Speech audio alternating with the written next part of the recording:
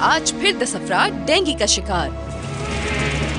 हर माँ को डर रहता है मच्छरों का जो हर साल हज़ारों लोगों को डेंगू का शिकार बनाते हैं। लेकिन इस साल मुझे डर नहीं क्योंकि मेरे पास है नया मोटी जो करे खात्मा सौ। फ़ीसद इसका power guard formula arm spray के मुकाबले में मच्छरों का करे खात्मा सौ। फ़ीसद एक को भी नहीं छोड़ा। मोटी!